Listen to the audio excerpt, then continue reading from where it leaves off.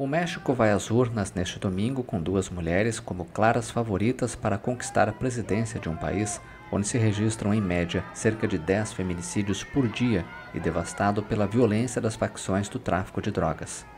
Cláudia Sheinbaum, candidata do partido de esquerda no poder, votou na cidade do México. Segundo uma média de pesquisas da empresa Oráculos, Sheinbaum, de 61 anos e de origem judaica, está 17 pontos percentuais à frente de Xochitl Galvez, senadora de centro-direita. Sheinbaum teve a popularidade impulsionada pelo presidente Andrés Manuel Lopes Obrador, seu padrinho político.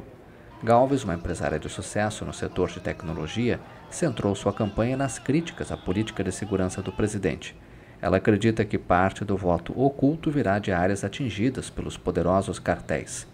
O México é a 12ª economia do mundo com 129 milhões de habitantes.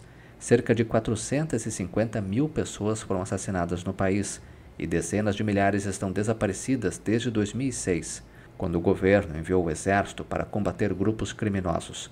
Cerca de 30 candidatos a cargos locais foram assassinados desde setembro passado, segundo a ONG Data Cívica.